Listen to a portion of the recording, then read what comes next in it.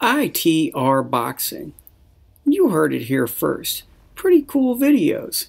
And I heard they're also in HD. ITRboxing.com. I'll try to stay out of the way. It's okay, Trav. Angel, who'd win?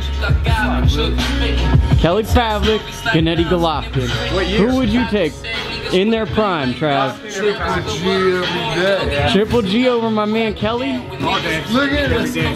Look at what the old man did to Kelly Pavlik in his prime.